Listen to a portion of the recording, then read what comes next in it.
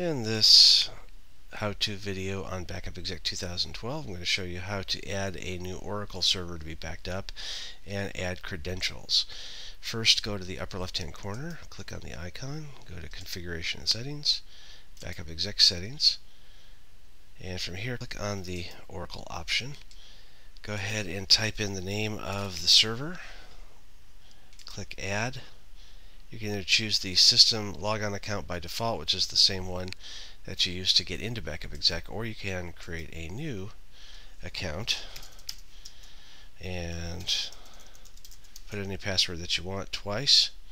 And then if you have any notes that you want about this, you can also check this as a restricted logon account or make it your default logon account. Don't want to do that. Uh, don't want to check this box because it'll automatically use this instead of the default logon account that you're using for backup exec. But a restricted account is just fine. When done, you can go ahead and click OK.